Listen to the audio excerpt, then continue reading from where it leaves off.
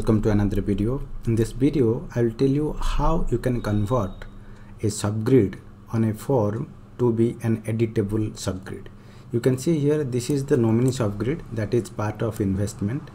And here you will find these records which are part of the subgrid is not editable inline right?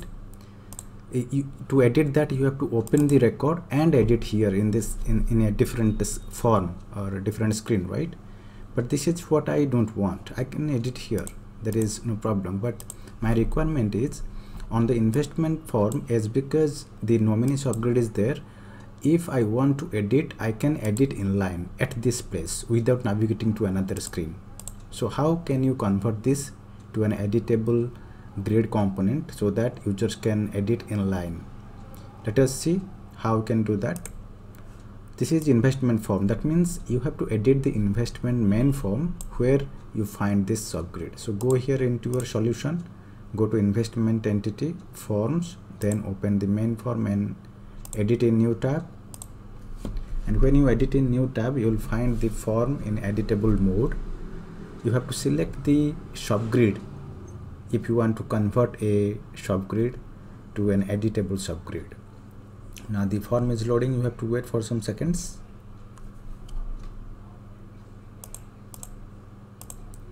Right? So this is the form. And here this is the nominee subgrid right? And I want to change this nominee subgrid uh, let me just uh, scroll just to make a zoom out. Yes this is the subgrid now if you go right side uh, properties you will find three sections in the property display option. Then we have a formatting and we have a component. Inside the component you can use a editable component editable grid component for this subgrid. Click on add component and choose editable grid. You can also use calendar uh, component but for now I want to show you editable grid. So click on this editable grid. Now once you click editable grid it will open a small screen where you can choose some uh, informations like subgrid information and group by information and all that right? You can choose the subgrid view which table it is connecting to. You can choose this is connecting to nominee so scroll down and uh, choose nominee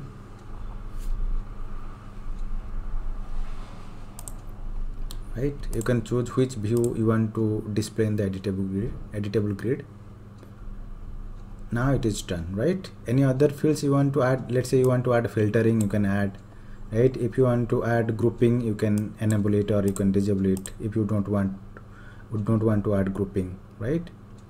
So you can click on done. After choosing in which device you want to enable this uh, editable subgrid if you want to use in all devices you can select all and click on done. Now publish it now this became a this become a an editable grid now.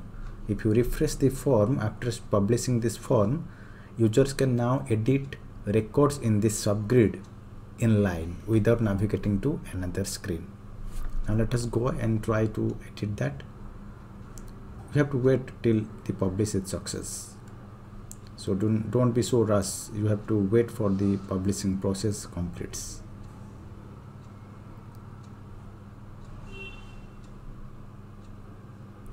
and you can also change the main view. This is just a sub grid. I am changing as a editable grid.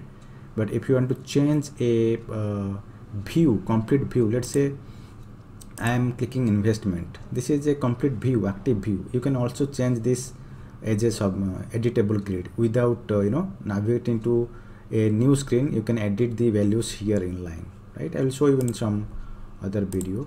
Yeah now it is published. Let me open an investment you see now once the investment is opened you see you can find a inline editing option. I can change it directly. Okay? Let's say it is 75 and here I want to make it 25 I can change the relationship type also. Right? I can change the verified from no to yes accordingly. I can also change the uh, contact this will give you a drop down. Okay. If you double click it will open the record. Do not double click. You just click one click and it will edit. If you delete this you can choose one. This is a uh, lookup field right? So it will display as a drop down. And the name can be updated. And everything can be updated in line right? And you can save it. If anything changed you can save it. Otherwise if you go out after you edit one uh, record values and go outside it is auto saved but if it is not saved you are on the same uh, row in editing mode. You can click this save option so that it will by default save the changes. So you understand how it works? You can also use grouping. If you want to group by name you want to group by contact right? The same contact has two records right? You can use by percentage owned. This is 25 percent. So grouping is very important and very useful. Okay? Two records with no age verified right? You can group it. Okay? You can enable the search functionality also in the grid. If you go here in the uh, formatting sorry in the display option you can enable the search option uh, what is that option? You'll find yes hide search box is there. You can disable this so that it will enable the search box. So any record from a subgrid can be searched. You see the search box is now displaying here right? If you publish it will display there. So there are other options also. Allow users to change view. It, it, there is a view displaying here right?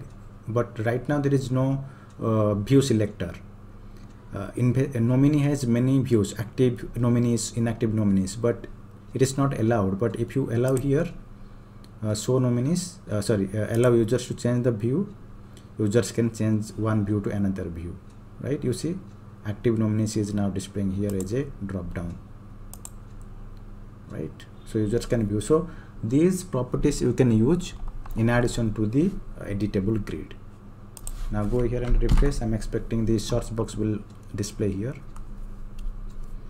So this is very useful uh, configuration piece of configuration you can use in your project. You see I, I can find out. I can search here. Any record. So this search box will help you to search records.